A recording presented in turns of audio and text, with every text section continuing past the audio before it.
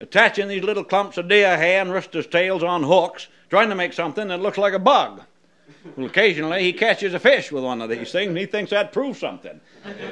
well, it does. It proves a fish will eat anything.